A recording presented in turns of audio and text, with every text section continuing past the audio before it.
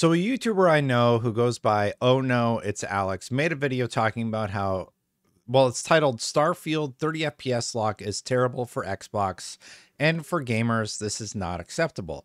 I thought I would watch it and respond to him because he's a coward and won't talk to me. And I thought I would just give my rebuttals uh, here on the stream. So buckle up everybody. We're going to do an Alex We're gonna do an Alex video. Let's go.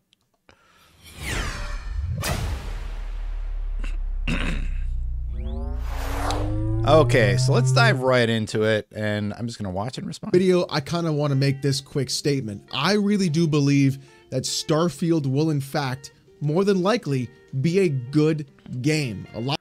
Well, great video so far, Alex. I, I agree with all your points. A lot of the RPG mechanics they showed on Sunday look really enticing to someone like myself who likes deep systems and mechanics. It seems as though they've taken some lessons that they've learned from Fallout 4 and 76 and really just reversing those lessons, learning from them, and applying something new to something that is actually probably going to be a great set of series of games coming to us in the future. Now, with all of that being said, however, I can't believe this is going to be a hot take warning.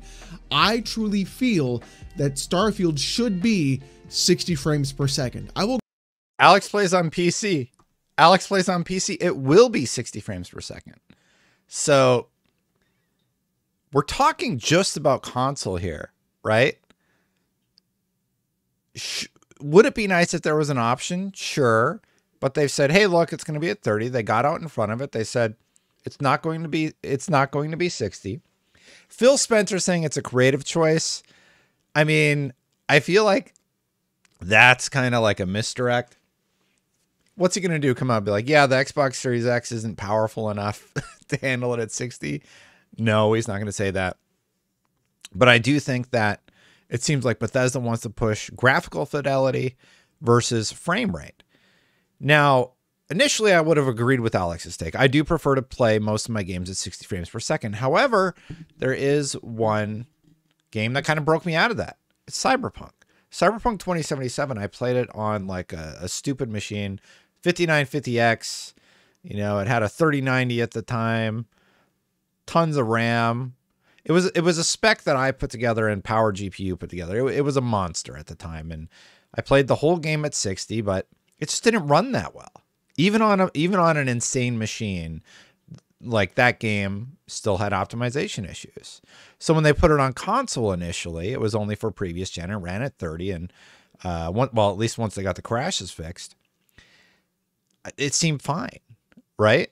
Like it was fairly stable on modern consoles, somewhat. And uh as long as there aren't frame rate dips, I can see a game like Cyberpunk 2077 or Starfield being 30 and not having a lot of issues. But let's hear from Alex a little bit further. We'll go an even step further than that and say console games today, or all games in general, should at the very minimum be 60 frames per second as the standard. I don't. No. I. I think we're actually entering a time where developers have been tired of sacrificing visual fidelity for 60 frames. I got flame for this tweet where I said 60 frames per second is a buzzword. It's not a buzzword. It, it the the way the tweet was phrased was I was saying it's a buzzword for console fanboys who like to use it to throw around like the frame rate graphs that we all see cuz the most recent one that I've seen is Final Fantasy 16 getting dunked on because it's performance mode on the demo at least, which yeah, it'll get updated or whatever, but the the performance mode right now is running at like 32 frames per second. So yeah, you can say that. And games like Returnal that run in 4K, it's not actually running in 4K. Most games are upscaling from 1080p at this point. So developers are being forced to make this choice. Well, do we have our game run at what, 720 native, but so it can hit that 60 frames per second target? And they're saying, no, we don't want to present our game at that resolution.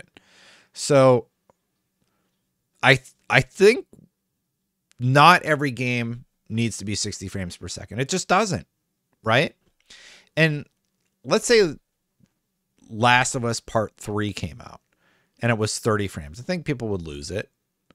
But I think Sony has like Insomniac on their team, and Insomniac has just done magical things with Spider-Man. And there's a lot of great developers out there who have figured out how to make the console hardware hit that 60 frames per second target.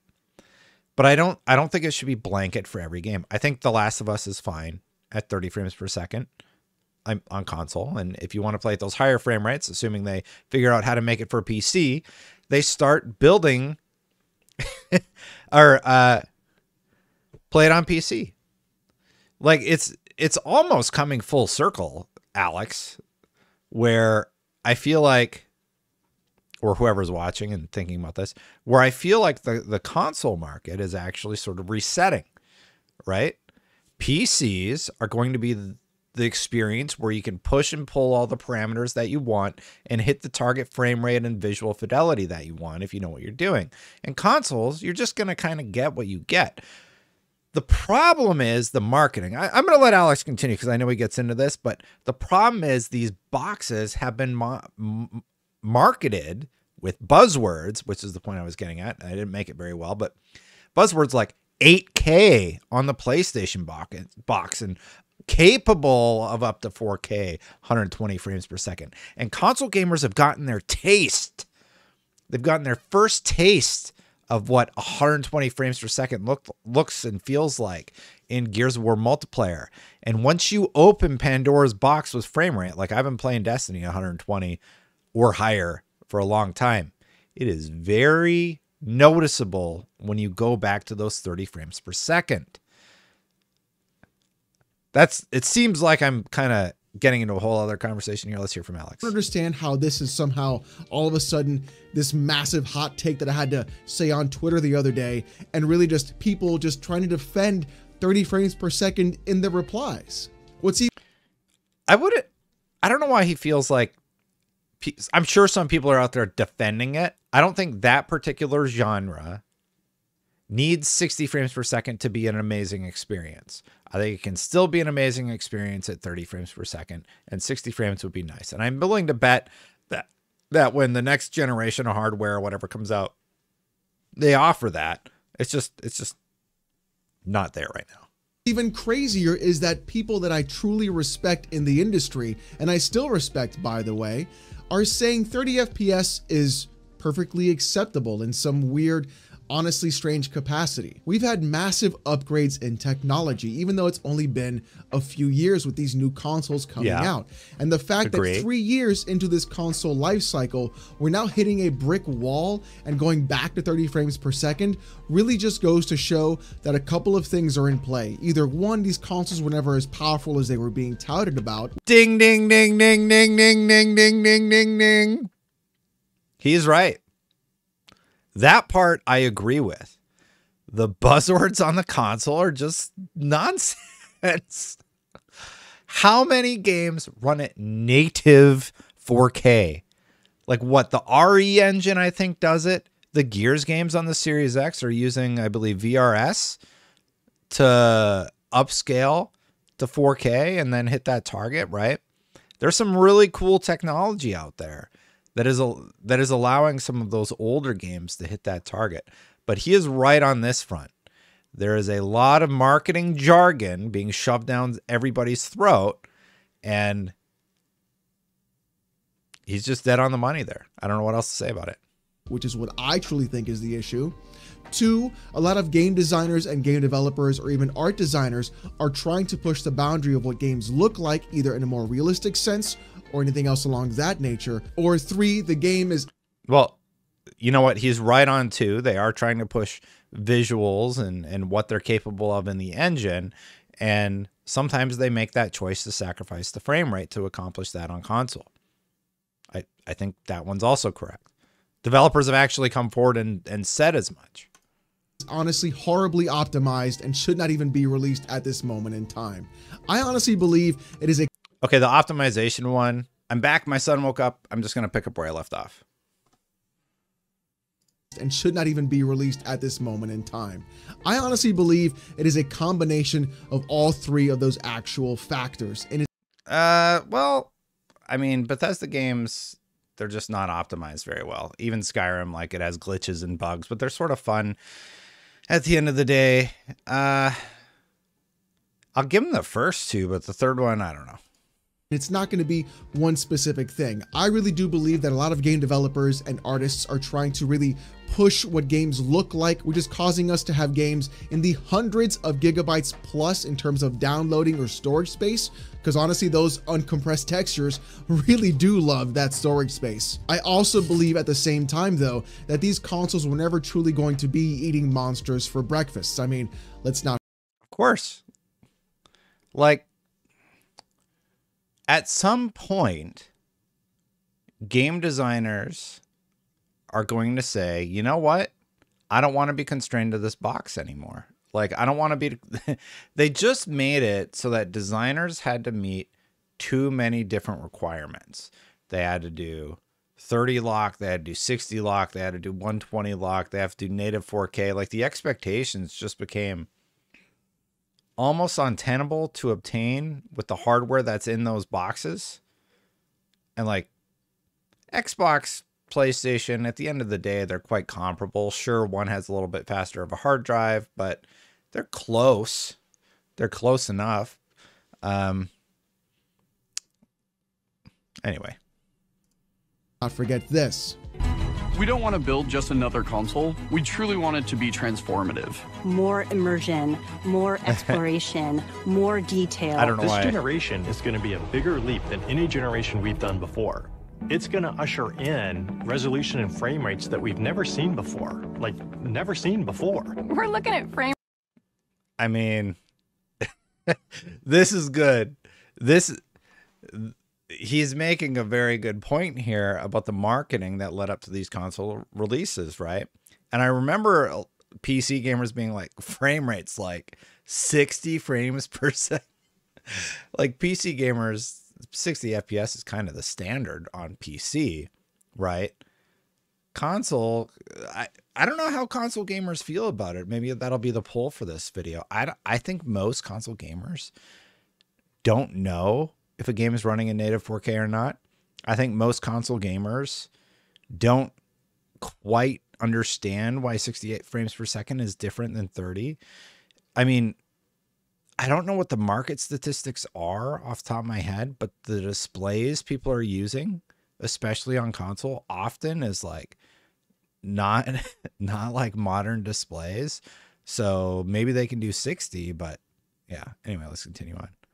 Rates up to 120 frames per second. And even after all of those things going into play, I still also that was just a good joke. also firmly believe that game developers and game companies and publishers are still pushing games out the door while they are half baked, incomplete, and totally unoptimized. Star Wars. We've been seeing that lately with so many PC ports that I've been doing, or even in general. Last of Us. With games that are releasing at 30 FPS on these brand new consoles. Even three years in, these consoles, in my opinion, are still brand new. But enough about what I have to say. Let's see what Todd said in this actual interview with IGN. It's 4K in the X, it's 1440 on the S. We do lock it at 30 because we want that fidelity. We want all that stuff. We don't want to sacrifice any of it. Fortunately, in this one, we've got it running great. It's often running way above that. Sometimes it's 60. But on the consoles, we do lock it because we prefer the consistency. Yeah. Right? We are not even thinking about it. And we're not, we don't ever want to sacrifice that experience that makes our games, you know, really, really special. So, um, feels great. We're really happy with how it feels, even in the heat of battle. And we need that headroom because, you know, in our games, like, really anything can happen. And here's where I really have to disagree with a lot of what Todd is saying. In my opinion, there truly is no such thing as a smooth 30 frames per second. And really, this entire concept of things being smooth at 30 I mean, I know what Alex is going to say here. He pref- he's a 60 frames per second gamer, right? But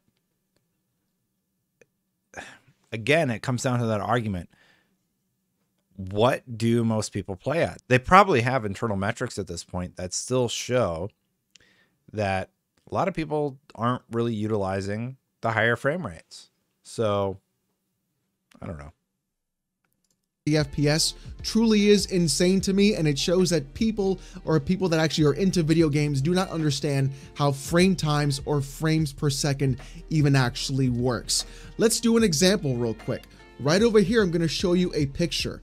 This is going to show you how many frames you actually see in every single second during an actual image or whenever anything's moving on screen. Mm -hmm. Now, of course, as you can see, oh. the more frames you have being applied each second, the smoother the image is in fact going to be. This is more True. incredibly important when it comes to video games, not just on a visual sense, but also on an input sense. Now you're thinking to yourself, why does this matter? He's right for shooters and stuff like that, you have to have 60. I a lot of people feel like a lot of people put Starfield in the shooter category, and that's sort of the mistake that I made with Cyberpunk. I don't feel like any combat encounter needed to be 60, right? I'm all paranoid my son's gonna wake up again. I mean, I guess I guess it's nice, but if Todd Howard is saying, yeah, we had to put it at 30, I, I get it. Maybe they come up with something later. I have seen some people say, I wish they would have had a unlocked option or something like that, like a, a option to unlock the frame rate. So it's just it can go as high as it can go when it can go 60. I think that would have been reasonable. I have to imagine they tested it and there were crashes. The only the only reason I can think why they wouldn't at least have that option, just be like, look, we're to set it to 30 and then we're to have an unlocked option where frame rates can go up to 60 frames per second, but it'll be less stable. I mean, I don't really see the harm in that. I guess. Well, it's very simple actually. When you lock a game to 30 frames per second, you have a 33.3 millisecond delay between yeah. every single frame. What happens when you 60. double it? Well, now you have a 16.6 yeah. millisecond delay between every single frame. What does that do for you as someone who plays video games? Well, the biggest thing is that it reduces input latency. Input he's probably going to explain it, but input latency is the time from when you press a button to an action appears on the screen. This comes into play uh, in a, a, very important way for fighting games like Street Fighter, for games like um, what's another game? Uh, Call of Duty is an important one where you you really need that one to one action. Fortnite might be one where they even have a low latency option potentially on console.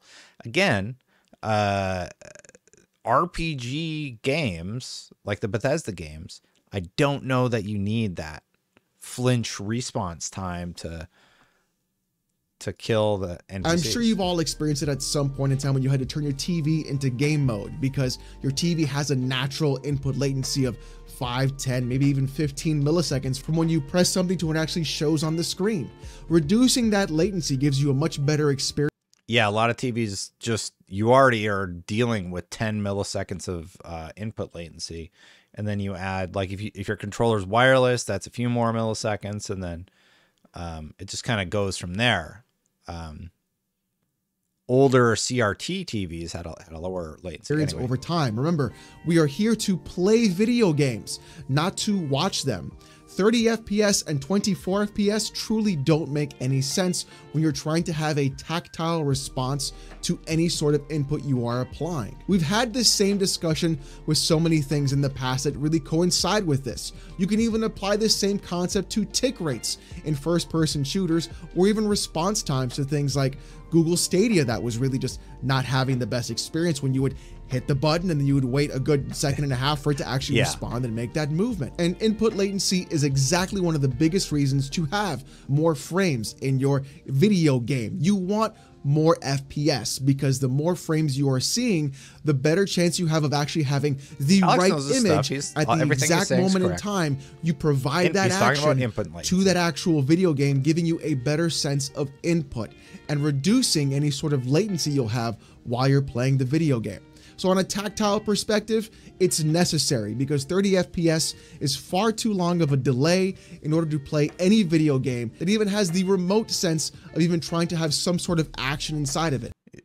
I mean, saying that it's too much of a delay to play any video game, like you can't play a turn-based RPG Yeah, you can. Like there's video games out there that 30 FPS makes sense for. Last of Us, you don't need Twitch responses. Is 60 FPS better? Sure. Todd's come out, they said we're doing 30. I get that he's upset about it, but to say that like it to say that 30 doesn't work for anything, that's where I don't agree. And I, I think it's fine for Starfield. I think once people get Starfield in their hands, they forget about all this. The same way they forgot about it with Cyberpunk, because it's not the type of game that like has to have 60. And that's my only argument, right? 30 FPS is going to be fine for a game like Starfield. And Starfield is in fact a first person video game that has shooting mechanics. You would want this game to be 60 frames per second. And the crazier part about all of this Eh. is that so many console fanboys and people on the Xbox camp are defending 30 frames per second for Starfield, but these same people were the same ones criticizing Redfall for being 30 frames per second. Redfall was marketed that it would be 60. It was marketed as a shooter, right? So yeah, I definitely criticized it for not having 60. Uh, it got so bad that they had to like make an announcement that it would not run at 60 FPS at launch, and they were putting like stickers on the boxes. So like Starfield never promised it would be 60.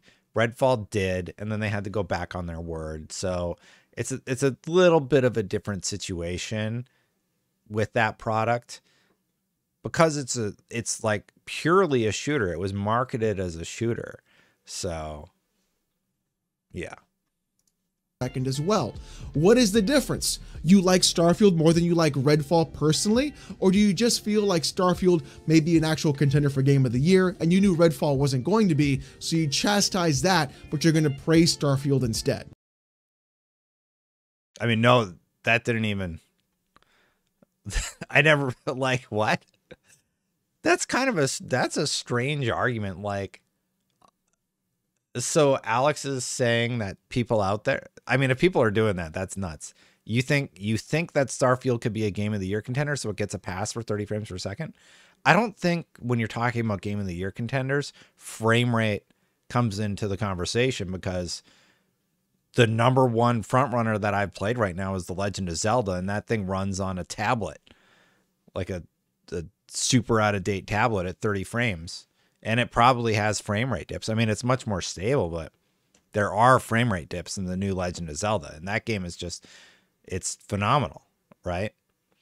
It's a Bethesda game. We know what we're going to get for a Bethesda game with Starfield.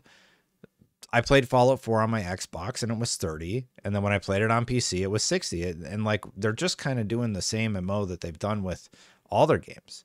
I'd have to imagine that Skyrim also launched it at uh at 60 or 30. So Skyrim launched at 30 because it was like 360 PS3 era. And if I remember right, a lot of those Bethesda games ran like crap on the PS3. I'm kind of going off on a tangent about old Bethesda games, but it's like, hey, I will take locked 30 over whatever Fallout 4 ended up running at. Uh, even even then, I don't think Starfield will be locked, but I don't know. Just it's a Bethesda game, so I I feel like most people don't care that much. Anyway, continuing on. And some other really ridiculous things that I've seen online lately are trying to compare Zelda Tears of the Kingdom to Starfield. And if saying, oh, Tears of the Kingdom is 30 FPS and dips to 20, but that's okay, but Starfield can't be 30, well, no, it's not okay on either side. Tears of the Kingdom should in fact be 60 FPS. It doesn't really matter whether it's on a potato, on a tablet, or what have you. When you're playing a video game, it should be 60 frames per second. Uh I don't know. He's going with he's going with the whole blanket statement thing again. Every game has to be 60. I mean, clearly for snobs like myself and Alex, would that be nice? Yes. Does every game need to be? No, they, it just doesn't. Because you have to think beyond your own experience and say, okay, does every game need to be 60? No, it just doesn't because the general population, like most people, 90% of people who play video games don't know anything about native 4K resolution or 1080p or whatever, especially on console, 90% of players just want to play good games. And you can accomplish that at 30 frames per second. Now, that 10%, the conversation we're having is about familiar familiarity with these new resolutions and frame rates available to them because this is the first generation where I've seen people who don't know anything about this topic finally saying, "No, I want my games at 60." It's like, "Okay, but again, I I just feel like Bethesda is one of those games that does not need need it. It just doesn't need it. Is that a nice world we could live in where every game could accomplish that and not have any sacrifices made? Sure. But even the current build of Final Fantasy that's available to everybody, the the demo build is can't do it. And Final Final Fantasy 16 looks to be an amazing game. I still haven't played the demo. I'm going to soon. Well, I'm just going to play the full game, I think, because I'm like sold on that one. But I don't care. like, oh no, it it dips below 60. The game still looks phenomenal. Like who I guess Alex cares. I don't care as much about that stuff. I notice it, but I just kind of push through it or whatever. I don't know. The animations look better. The menus function better. The game feels better. And secondly, why would you even try to correlate a handheld tablet that gets what 10 watts at most in battery power to an actual $500 box that upon its release was supposed to eat monsters for breakfast and is a 12 teraflop beast? These things don't make any sense. They're not the marketing, I'll give them this. The marketing is BS. The way they were marketed, yeah. In the same absolutely. ballpark. You can't sit there and compare these two specific things because one, it doesn't make any sense for a comparison, and two, both games should in fact be 60. I don't understand how this is even like an argument for some people. And you know what? Here's my actual solution to all of this, which I think would be pretty simple to implement, which honestly was given pushback as well for some ridiculous reason. Why don't console games have these same settings options that PC games have? I mean, you literally already have a PC. Don't believe me? You already have an operating system on your console. There you go. You already have to download your games and provide updates. There you go. You have to be connected to the internet. Stability. I, I think the only reason that console games don't have the breadth of options that PC games do is because once people start pushing and pulling those levers on these machines, it increases crash rates and that increases returns of consoles. So I imagine game developers have to pass cert and then they have to function properly on the devices, right? So once they get that locked in, no way they're letting people start push pulling those levers. PC gamers were more used to breaking our games and having them crash or whatever because we did something wrong and we can go into the INI files and and change whatever we need to change or you know adjust our our uh, uh, DirectX version or whatever it happens to be this generation, you know, uh, turn ray tra- ray tracing's the big buzzword. Yeah, that's right. I said it. Uh, so yeah, I think it's the stability. I think it's as simple as that. Surprise, surprise. You literally have a small form factor PC that is made by a specific company. Consoles today do not exist. They're not what we had back in the 80s and 90s. You are literally just running a form factor PC, like I said before. Why shouldn't you have the options to go ahead and go into advanced settings and say, I don't want motion blur, I don't want chromatic aberration, I want to reduce the frame rate here, I want to turn. They often let you turn off motion blur in games, which does give you more overhead. But it's sort of most motion blur, in my opinion, is often added into games to cover up blemishes. Film grain is another one that I hate. I usually don't like film grain. They're like, oh, it's our artistic choice to go this way. Come on. really? I mean, I guess like Mass Effect 1 had motion blur and film grain. Guess what I turned off every time I played through that game? Motion blur and film film grain because it made it harder to play. Mass Effect ran at 30 frames per second. An FSR on, I don't want ray tracing and have the customization yourself. Why is it only relegated to PC? And I can understand the concept. Again, because cert and stability.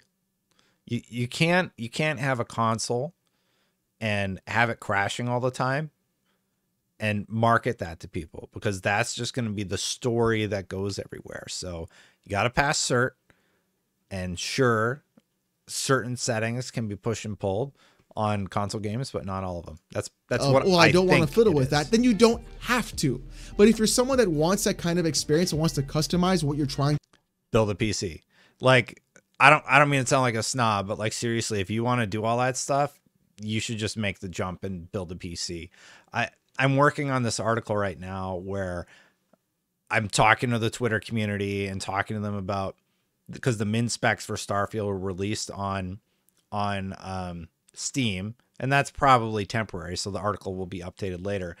But the point being that the min spec to build a machine that could run Starfield theoretically at 60 frames per second based on the minimum specifications because you can sure you can dip it down to 480p resolution and turn everything off and then yeah you can get your 60 frames per second but it'll it could look kind of bad. But anyway the min spec is about $900 out the door.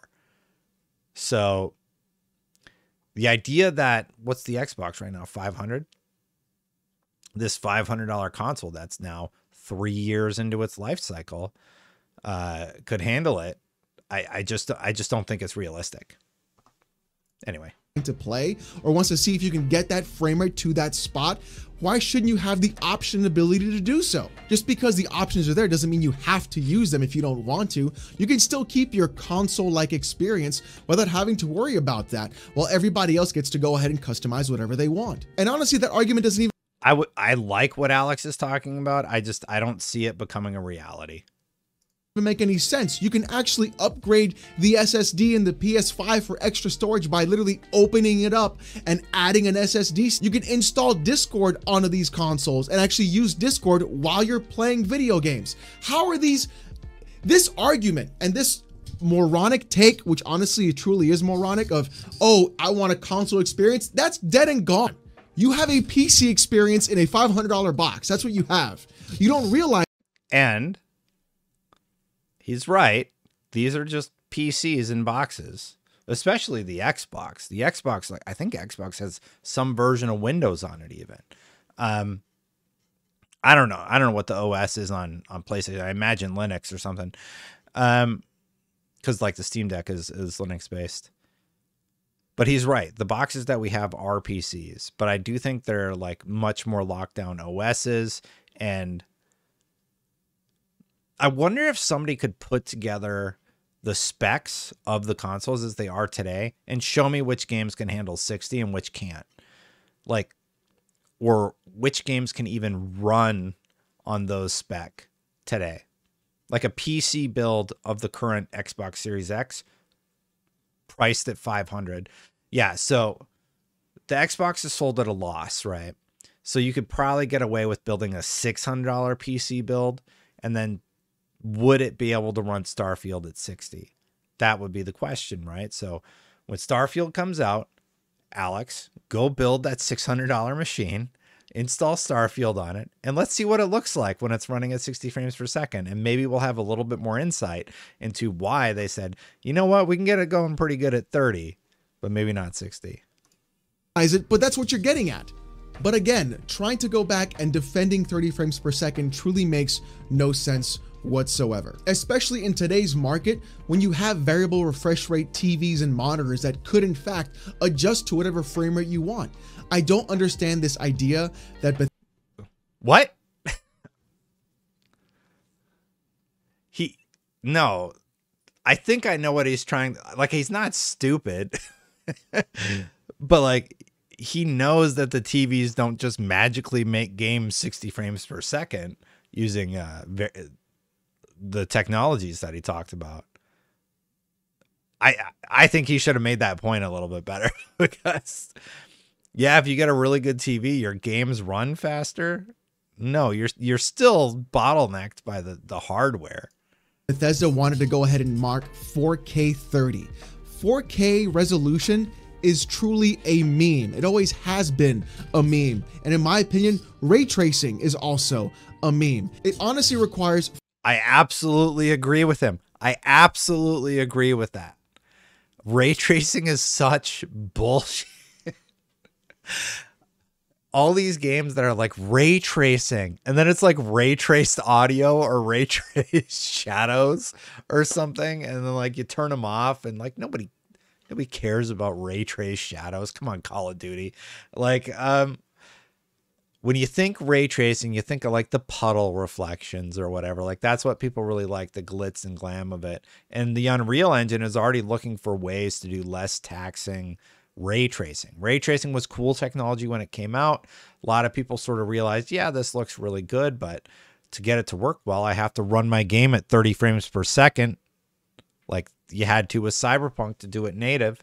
Native 4K, I don't know how many games can do it. Like I know the RE engine can do it, but like Returnal, Returnal ran at 60, right? What's the native resolution of Returnal? It's 1080p. I I've done the frame counts. You you can like look at an edge in a game and count the the stairs on it and then actually get the native resolution in the video games that you play. That's how I do it. Uh, when I do the performance reviews and a lot of games are using are getting harder to tell what the native resolution is because they're using new technologies like variable rate shading and just things where like you only render a smaller part of the screen. Like the edges aren't even they're just like blurred or something so you can render them in a lower resolution and then you get that frame rate. And then like the coalition's like amazing at that. And then on the other side of the street over at playstation uh, insomniac just does amazingly well at uh, well at that but anyway I, I was responding to alex i told it let's go back. Like also, a, a, meme. It honestly requires far oh, too much horsepower, in my opinion, to actually right. run effectively. And honestly, why couldn't they just a provide waste. a performance mode? If it's 4K 30, give me 1440p 60. That's upscaled in resolution. The fact that these consoles Starfield won't be native 4K. Like, I don't know that for sure. There's just no freaking way though. No game is native 4K. Very few games are native 4K. They're just like yeah consoles can in fact and do in fact have upscaling like FSR and all these other things that are applied to them really just goes to show they could have I said variable rate shading I think I meant FSR well provided you with that experience but chose not to. This was their decision to do so. Why are developers telling you how you should play that game? You're the one that bought the video game. And here's what really just bothers me the most about this. I primarily play on PC. In fact, I only play on PC. And the thing is, just be just real quick on his comment about developers telling you how to play, you could build a PC and play it at whatever you want. But on console, it's just like there's other things to consider, I guess. Like I imagine the cert and the, the crash rate of the game because of cert.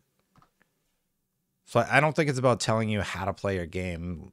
It's just because I bought I a new GPU and a new CPU and all this kind of stuff, and GPU prices are still insane, by the way, they shouldn't cost what they cost, doesn't mean that I should be the only kind of person who actually should have that experience of 60 frames per second. You as a consumer and as a console player were convinced by these companies that these boxes are in fact powerful. Let's not forget the SSD, the IO throughput, the Kraken technology on both sides. The audio. these consoles were in fact powerful. and then turning around not three years later, they are completely completely unable to do exactly what they were claiming to do, and you are sold a bill of goods. Well, it shouldn't be up to you to say that to say they're completely unable to do what they said they were going to do. I mean, for a few games now, I think as it goes on, it's going to get worse. Alex is going to lose his mind like in a year when more games are going to be 30 now because they're going to see they're going to see what happens with Final Fantasy 16. Hey, maybe that comes out retail code and they patch it and they get a stable 60 frames per second. But based on dips to 30 in the demo, I will be quite impressed if they manage to somehow patch Final Fantasy 16 for what they're accomplishing on the screen to run at 60 on those consoles. I'll be very impressed if they can accomplish that.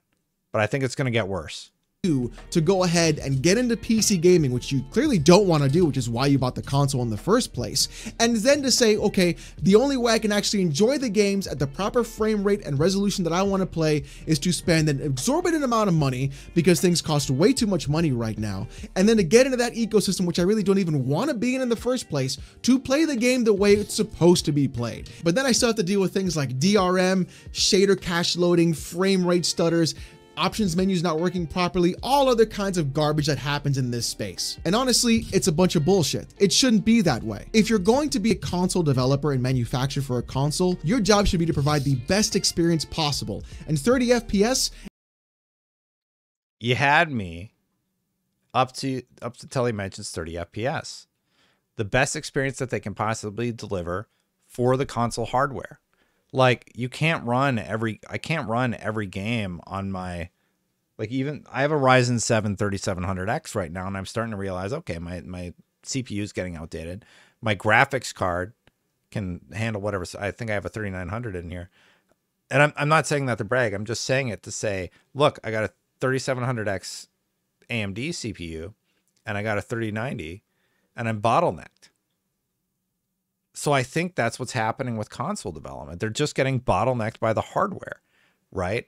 So so I don't agree with Phil Spencer said it's an artistic choice. Come on. like I imagine they would have had to bump the native resolution down to like 720 or something, or just make sacrifices that they didn't want to. And when I think about like the best games of all time, like Mass Effect, which ran at 30, uh, yeah, I don't know. I, that's why I just think that this type of game, any Bethesda game like Skyrim, Fallout, um, Skyrim, all all the Bethesda games, they were 30 and they were great on console is not the best experience possible. We've had three years of this console generation where people were exorbitantly ecstatic. And and the they aged out about having 60 FPS gameplay and loving it, by the way.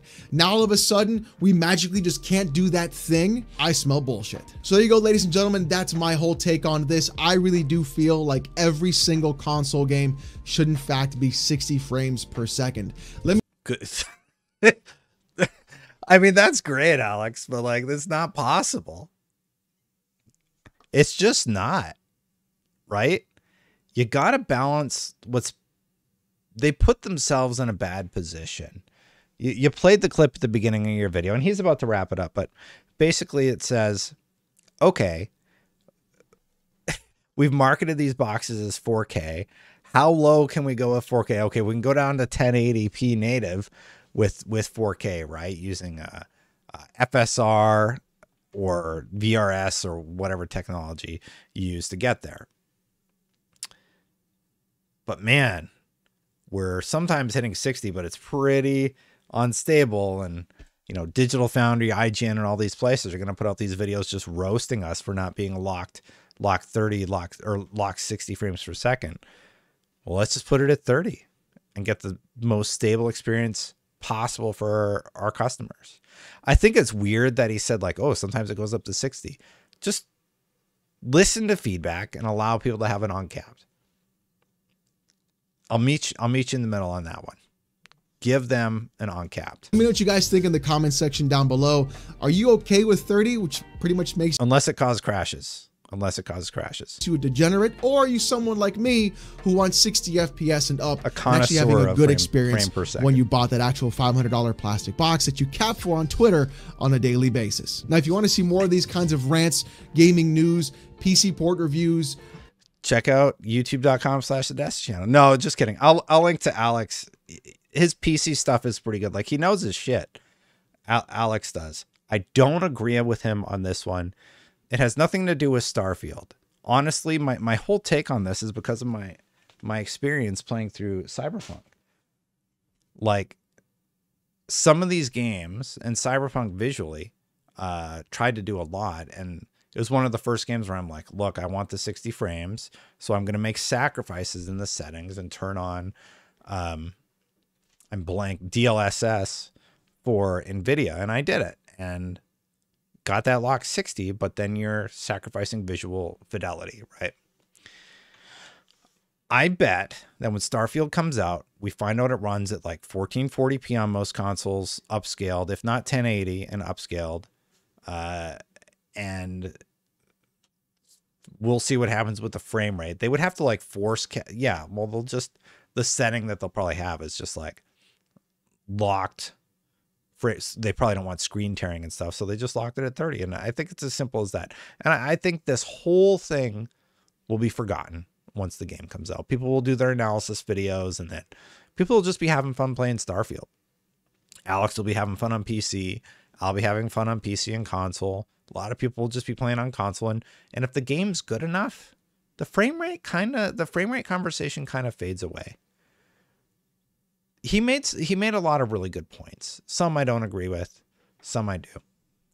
Anyway, thank you so much for watching. Hit that subscribe button, hit that bell if you like my content. Thank you so much. I'm still getting over my cold, so thank you for putting up for my with my nasally speech. thank you so much to the members. Thank you so much to Alex for making the video so I could joke around with you about it. Uh, we should seriously next time you're not going on vacation, we should actually. I've talked to Alex a few times about arguing about PC stuff. Anyway, hit that join button if you want to become a member. Thanks so much for watching. I'll see you for the next one. Bye for now, everybody.